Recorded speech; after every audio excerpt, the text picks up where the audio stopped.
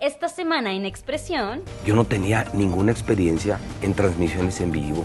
No tengo que aparentar lo que no soy. A nadie le gusta que para todos lados te estén siguiendo, que todas tus llamadas las estén grabando, pero a mí francamente me daba mucha hueva.